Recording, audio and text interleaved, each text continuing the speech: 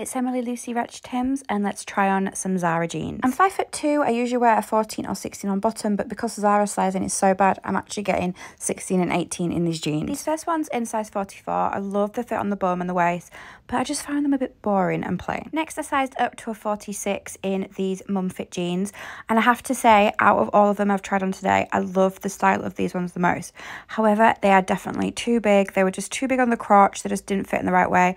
I even tried them with a casual trainer look, but I definitely need to size down to get a better fit. Then the last pair are these classic fit in a size 44, and I didn't like the wash of these, and I felt the waistband wasn't high enough, so these were a no from me. Let me know in the comments which ones were your favourite, and if you have any Zara jeans recommendations. It's